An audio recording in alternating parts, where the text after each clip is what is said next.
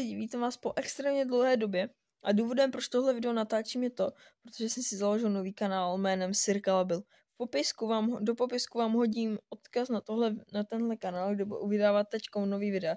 Takže všichni, co mě chcete sledovat a odebírat, tak běžte na kanál Labil, protože tady na tom kanálu mám menší potíže s Google účtem a už jsem Teď se mi tady povedlo vydat aspoň do video, ale mám tady trošku potíže s Googlem a prostě obecně je takový trošku problém na tento kanál vydávat. Takže toto, toto si doufám, že se mi tam povede vydat, protože není na tom nic jakože špatného, nevím, co se nám, negu, co se nám nelíbí YouTube, ale prostě no mám problém tady na ten kanál vydávat, takže teď budu aktivně vydávat na kanál Sirkalabil, takže ještě jednou v popisku, dole v popisku máte odkaz na tento kanál a já doufám, že se vám můj content bude líbit. Všichni, co mě chcete sledovat, tak běžte na kanál Circle Díky a čau.